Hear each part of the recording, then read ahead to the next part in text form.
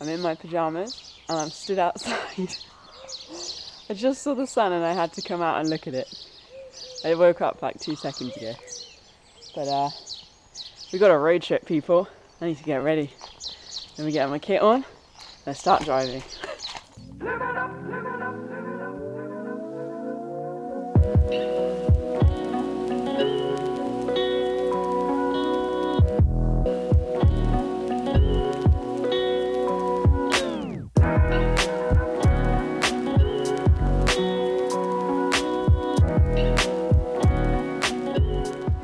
Good morning! I am absolutely buzzing to be alive today. The sky is the most vibrant wash of blue. There is not a cloud floating about. It's pure, it's wonderful. And I have been awake since 6 a.m.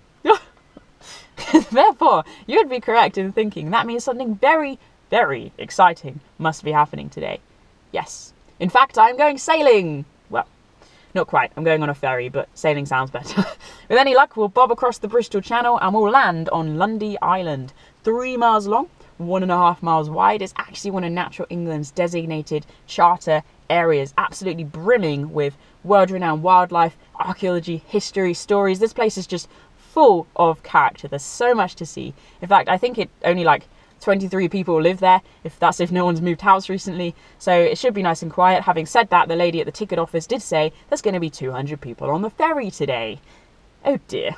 so I'll do my best not to just dissolve into the deck and actually just enjoy the journey despite the crowds. And I'm pretty sure once we hit the island, we'll actually I'll be able to get away from everything. I'll find some freedom. I'll find some breathing space. It's going to be awesome. I'm so excited to share today's journey with you. So the next plan then, having just driven here and I'm now sat in the car park at a really wonky angle, is to find the ticket office, get my tickets, sail across the ocean or not, and land on the island and just see what we can see there. So I'm really staying open to learning as much as I can today, to enjoying the wildlife, enjoying the views, and just sharing that with you. I've also brought a lot of camera gear today, so I'm not exactly traveling light because I'm really hoping we can get some shots of the resident puffin population. Now, the island is actually named after the Old Norse word for puffin, which is Lundy. Uh, so it seems kind of mandatory that we get some shots of those guys as well. But we'll see what we can do. No expectations, no hopes. Just going to enjoy the journey and share it with you guys. So I think that's enough talk. How about we go get sunburnt? Yeah. Three, two, one, go! Woo! I'd parked at a small car park away from the main harbour in Ilfracombe arriving just as a number of fishing boats arrived with their catch. Ilfracombe's economy was based around maritime activities right up until the 19th century, although now it's predominantly served through tourism, utilising its fantastic coastal location. It's really great this time of day seeing all the fishing boats coming in. How they really pull the boats in by hand. And uh, just had a quick peek at some of their catch. Got a lot of stuff going on there. I'm full! Yeah, as you do. Local fish caught from our own trawlers. Doesn't get any fresher than that stuff. Wow, look at this place. Goodness me. What an awesome harbour. So picturesque.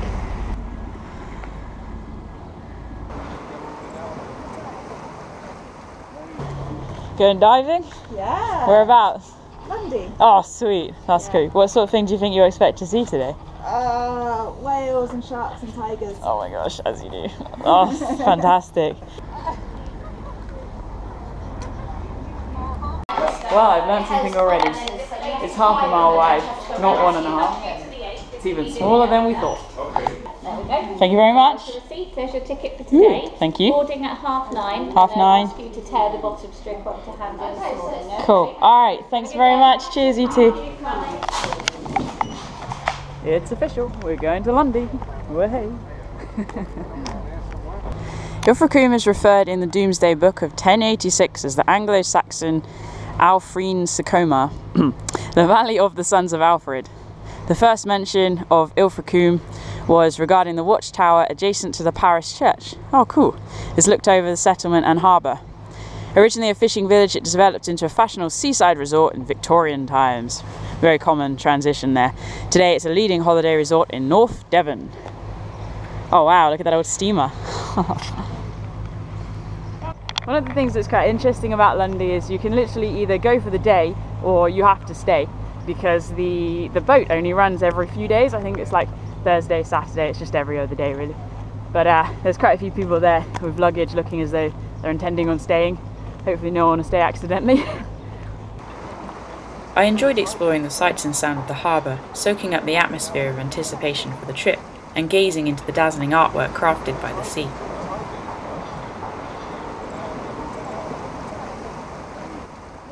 What do you make of this then? That statue is called Verity, 20 and a half meters tall. It's like a pregnant woman, half external, half internal. uh, certainly different, let's just put it that way. Verity was created by artist Damien Hirst and has been loaned to the town for 20 years. The statue depicts a pregnant woman holding aloft a sword while carrying the scales of justice and standing on a pile of law books. I've got 15 minutes before the boat actually leaves, and uh, even though it's shut, I thought we could just head up to St Nicholas's Chapel, and it's just a really great space to see over the entire harbour. So we'll climb up this rock face. Apparently, look at this rock. What is this? and then uh, make our way back down. But let's go have a look.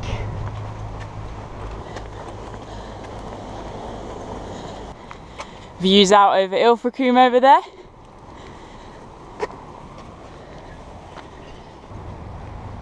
Oh, here we go. This is why I wanted to come up here. We're not even quite at the top yet. We can see down over the car park and Verity there. You can see the the Oldenburg that we're going to be travelling on. I don't know how they're going to fit so many people, but apparently they will. Dating back to 1321, the chapel was built as a place of worship for the people working and living around the harbour. Since the Middle Ages, it actually maintained a light to guide ships to safety and is still a working lighthouse today, something which speaks to me about the importance of the church bringing people home. Yeah, it's officially warming up. Might even have to take my coat off. Although I'm just waiting to get on the boat because I'm sure there'll be a breeze. Morning. Morning. Thank you very much.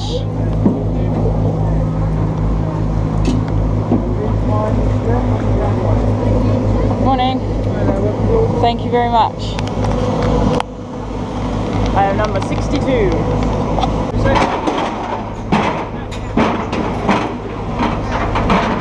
And we are officially leaving the harbour. In two hours' time, we will be on Lundy Island. It's 10 o'clock. Let's go. I was stoked to have a place on the edge of the boat and fixed my eyes on the waves, hoping to spot a dolphin or two.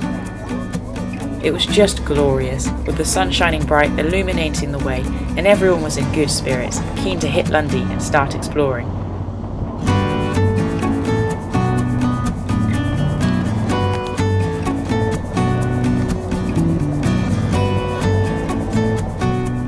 Suddenly, from out of nowhere, we hit a wall of sea mist.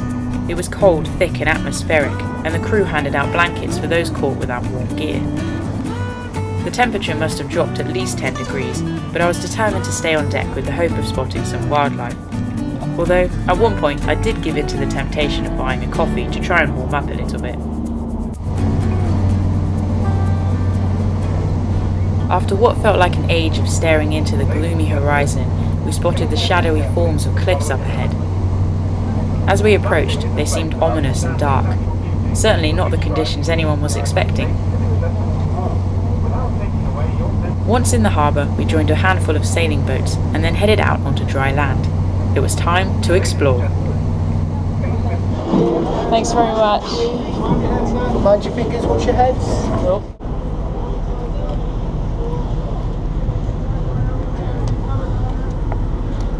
Here we go, it's official, we're on Lundy. Now we just gotta work our way up the main pilgrim path, as I'm officially naming it, to the top and Beacon Hill, the main sort of settlement area. I'm still desperately trying to warm up, I can't stop shaking, so I may even have to hold the camera like this. but uh, shorts maybe wasn't the best idea. There's quite a thick sea mist, which I wasn't anticipating, but you never know, it might burn off. And uh, we've got to be back for the boat at four o'clock. So we've got four hours to explore this special place. Towering cliffs above us. It's a pretty dramatic entrance.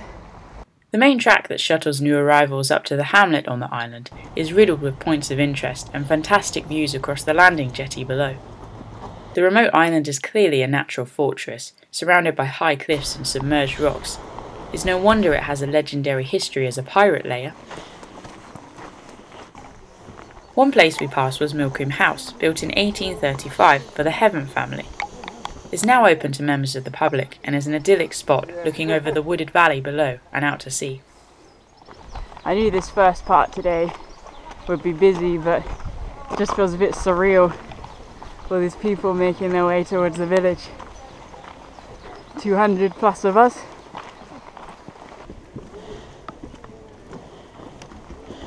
Entering the village, the first place encountered is the Marisco Tavern, a fascinating place that actually never shuts and is the only building on the island to maintain light when generators go out in the evening. Also in the village is a well stocked general store based in the converted Linhade building. It caters for residents, people staying on the island, and for day visitors, and the staff always seem to have a smile on their face. I found a path. We're gonna follow it. We'll see how this turns out. It's just so lovely already with the bluebells and the gorse and whatever the name of these pink flowers is. You've got the birds singing. The mist just adds even more atmosphere. It's lovely. The smell in the air is so fragrant. Ah, man. Let's get on top of some cliffs.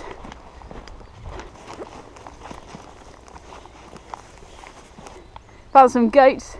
I knew there was a population of goats here, but uh, I didn't realise their horns were quite so big. As it turns out, there's currently 25 individual goats living on the island, which are annually monitored and maintained. There we go. There's a cliff. That'll do me. I really have no idea if this mist is clearing. I mean, I haven't warmed up, but everyone else walking up that hill was like, oh, it's so hot. But I mean, I've got the feeling back in my toes, which is an absolute delight. and uh, you know, I haven't been able to stop smiling since I've got here, especially since I've started warming up a little bit. Mostly because you just feel like you're stepping back in time in this place, in a sense that there's so few vehicles, and once you get past the masses of people, it's not many people either, and it's just it feels wild. And there's a triple SI, so a site of special scientific interest. It is monitored a lot, but it is a wild place as well, full of non-tamed wildlife that just comes and goes, and of course is subject to the elements as well.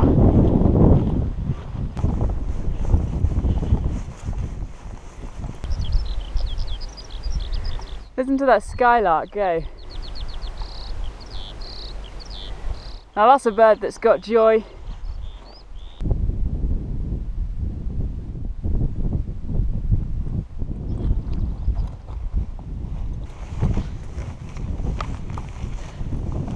We're coming up to the remains of quarter wall cottages. It really is just a, an empty shell, but it also seems to be an ideal spot for some Lundy ponies. So I might go and say hello.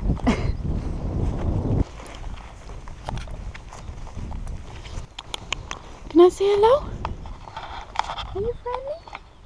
Oh, you are. Hello, gorgeous. I'm sorry I don't have any food.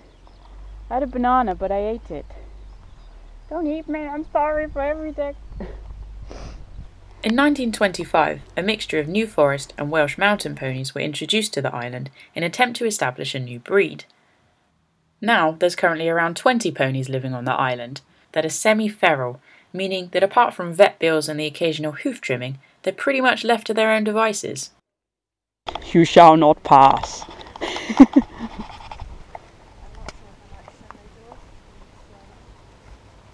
Hi. You're a bit lovely. The small cottages were once home to around 300 individuals who worked for the Lundy Granite Company, formed in 1863.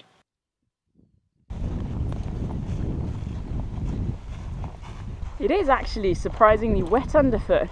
I mean, this is a prime example of some of the stuff we're moving through.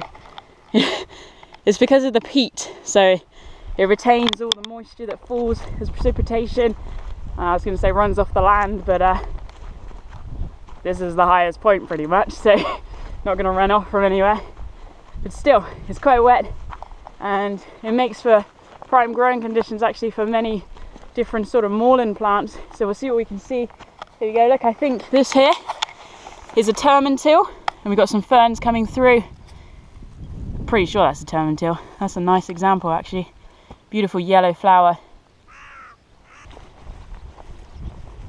We're just coming up to the remains of the hospital that was on the island and uh, as with the cottages, it's derelict now, but it really reinforces how the people living here did and still to some extent have to be self-sufficient. Uh, if the boats can't get across or the helicopter can't get across, then you've got to look after yourself.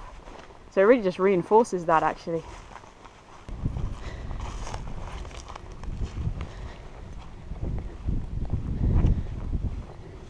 Where does this go?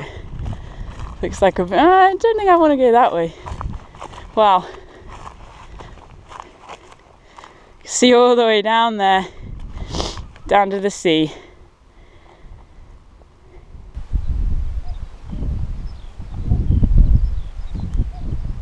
My first cuckoo of the season. Ah, oh, that is the best call.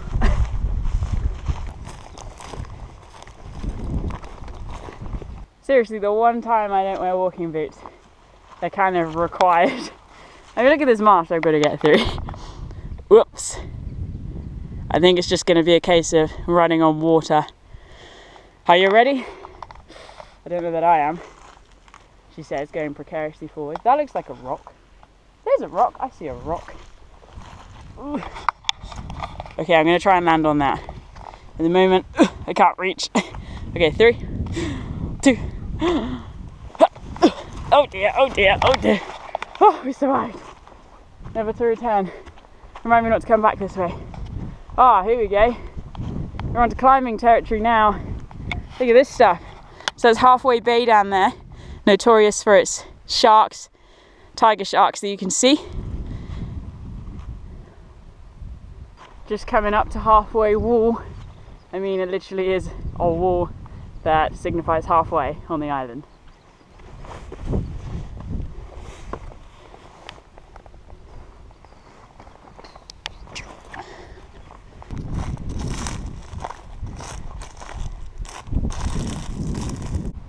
Ah, oh, yes. Now we're talking. Look at this viewpoint. You can just see the cliff stretching off into the mist. You've got this bay here. It's quite a long way down, don't you think? wow. It was on these cliffs that I first sighted the island Soay sheep, which I kept mistaking for goats. These primitive little mammals have changed very little since the Neolithic times and were introduced to the island from St Kilda in 1942. I'm sitting down on the job, but with good reason. I'd like to show you this rock. this is granite. You can kind of see the quartz shining in the sunlight there, there we go, the sun has come out, which is wonderful. so this, this granite makes up most of the northern part of the island and basically all of the sedimentary rock that would have been around it has been eroded away and that's why we just get this massive boulders and kind of seemingly random array of granite that remains because it's so hard wearing and it's such a challenge for the elements to actually erode it and, and remove it from the landscape. But it's so interesting to be able to see how once we've walked onto this granite, the, the landscape has kind of become like a moor. So we've got heather, low-lying heather, we've got sort of um, moorland grasses and, and the occasional bits of fern and quite a lot of moss actually. And it's kind of characteristic to what we'd find on Dartmoor.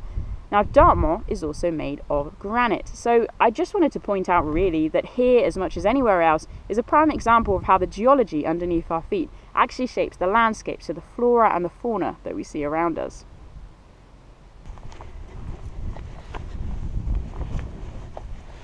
The mist is coming back in again with a breeze as well. It's not going to stop me, but it just means there's not much to see.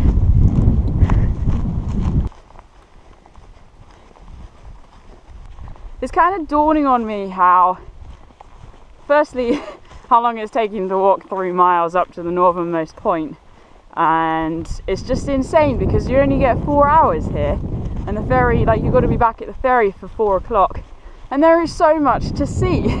And you don't really want to rush here because you have no idea what wildlife you're going to bump into along the way, especially when you can get away from the crowds. And I haven't even touched on the archaeology that's up on Barrow Hill or whatever it's called. There's some Celtic stones, awesome archaeology there. But uh, I've headed out straight this way and I'm really hoping it's going to pay off. I'm hoping the mist doesn't obscure everything because I don't want to miss out on the church and the Neolithic, Mesolithic remains when I'm trying to look for a lighthouse. I don't know. It's just a shame everything's so pushed for time. Nevertheless, I still am having a good time, so that's okay. Attempting to speed up finding the northernmost lighthouse, I cut across to the main bridleway that runs the length of the island. As I walked, I spotted even more sheep, and they didn't seem afraid of me, a lone walker emerging from the mist. It was lovely to spend a few moments getting a closer look at their fluffy coats and weathered faces.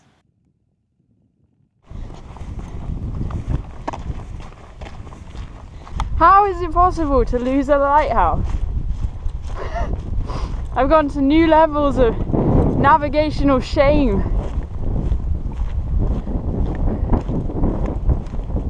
There's sea there, there's sea over there, and there's sea there. Ah, oh, there it is! Gosh, you can't see the lighthouse, people. It's all, it's down there, hidden by the. Why do they always paint them white? wow. Okay. So, I've really not got long to spend here. What am I doing? Why am I on a rock face right now? I, I need to get down there. okay, that looks like a nice Abbey-sized chute to sit on. Ooh, I'm glad it's granite. Okay, if I die, Bobby and Penny, my dogs, I love you. Ugh. Eh.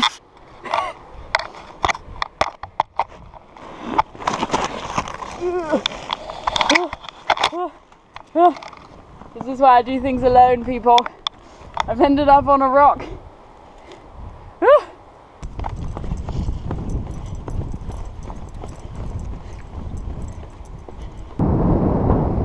Okay, change of plan. There's the lighthouse. I'm going back that way.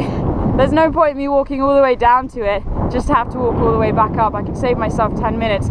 I really, really, really want to get onto the western side now, see what wildlife we can see. There's a potential for seals, potential for puffins. I know we got some weird weather to work with, but I just don't want to miss the opportunity. It's nearly half past two. I have to be all the way back down at the harbour for four o'clock. So I just, I'm feeling time. Goodbye, lighthouse. Thanks for being really not that obvious. This way.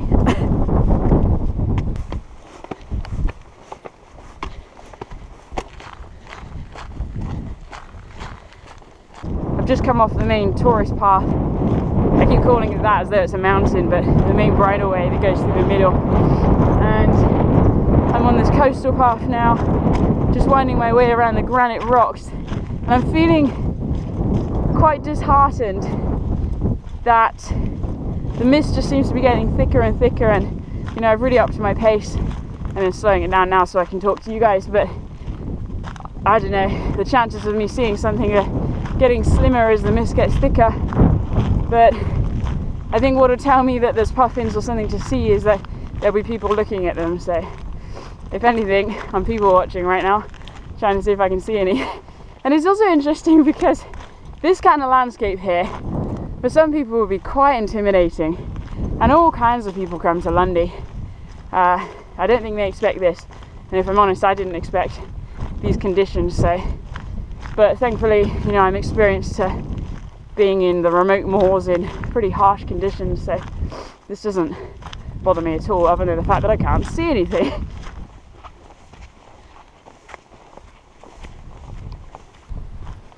wow now that's some dramatic geology.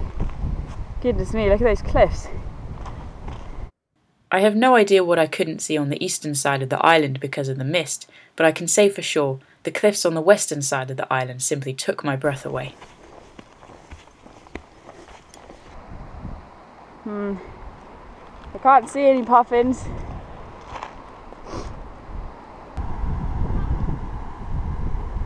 Wait.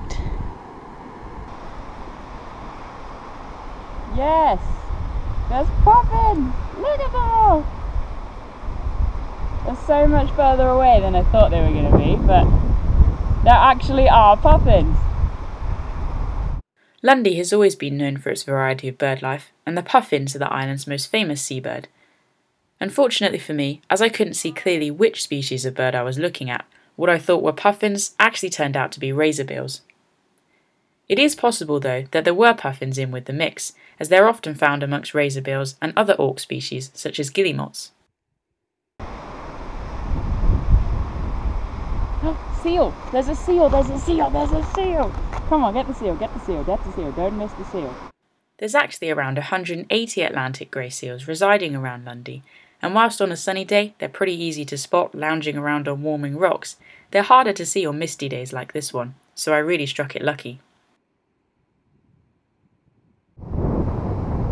I could just stare at that scene for hours. Just the waves against the rocks. Okay, officially away from that spot now. I have one hour, one hour to get back to the boat. Oh, okay, it's time to put my fitness to the test and move.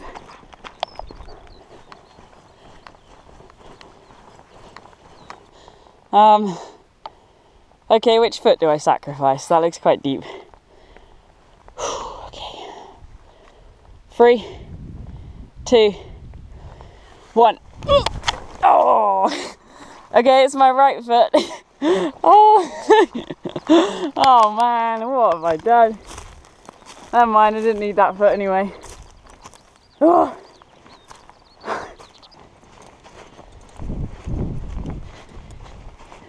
It's quite cool to keep bumping into the deer. They're just there now. Sika deer are originally from Japan and were introduced to Lundy in 1927. Since 1955, however, the population has had to be regulated by annual culls due to the amount of damage caused by a large population to the land and sites of special scientific interest. They really are beautiful animals, and I was mesmerised every time we crossed paths.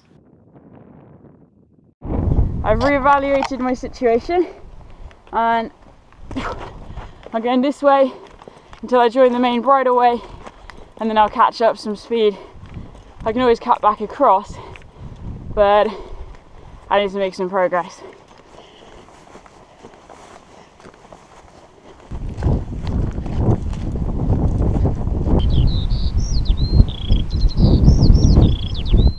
Though the mist surrounds, still the skylark sings.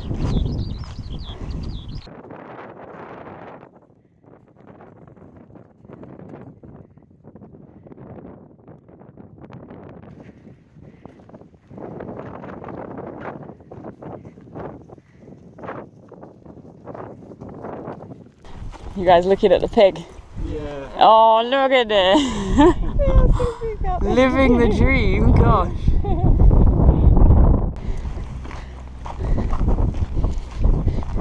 Finally, finally, finally, there are buildings ahead of us. Now, I wasn't exactly worried about that timing, but I've certainly been pushing because I want to have a little bit of time to show you the church. And I don't think I'm going to have time to have a look at the castle, which is the southernmost point. But we'll see how quickly we can do the church, and then we'll do the castle if we can before legging it back down to the ferry. Whew.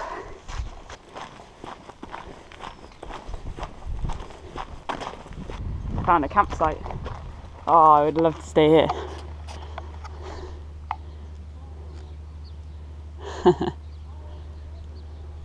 St Helen's Church has a fascinating history and was actually built on a burial ground with memorial stones dated to between the 5th and 8th centuries. It was started in 1244 as the church of this island, and yet by the 17th century it had fallen into disrepair, and a temporary corrugated iron structure was dedicated to St Helen. The present building was constructed in the mid 1890s, and interestingly, it doesn't conform to the usual east west alignment. Possibly as a result of a deep clay bed found at the site when foundations were laid. Really enjoying the stretch back down to the ferry.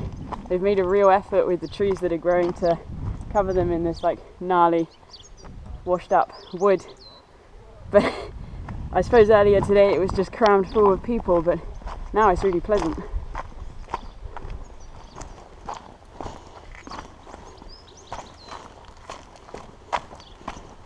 It's so much nicer now that the mist is clearing up. You can see the cliffs going on that we walked along earlier.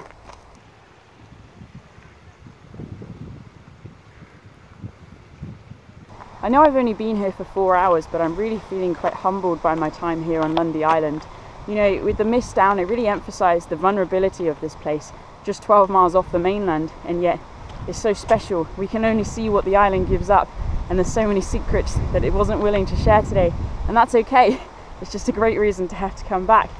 But especially now that the mist has cleared and I'm almost back at the ferry, and I'll be able to watch as the island gets smaller in the distance. You know, I'm just so glad that I can reflect on all of the emotions that I felt today. From absolute elation, elation at seeing the puffins and the seals, albeit from a distance, but to actually a little bit of worry as to how far am I from where I'm supposed to be and where the flip is that lighthouse. but uh, I'm going to really treasure today. It's just full of memories, full of wonderful experiences, and I tell you, I'll be counting down the days till I come back. But guys, until next time, stay wild.